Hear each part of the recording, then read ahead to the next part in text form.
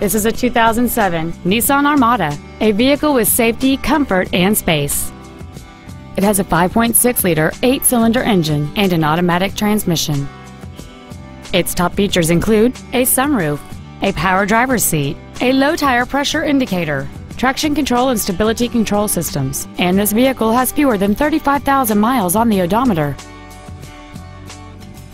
Stop by today and test drive this automobile for yourself.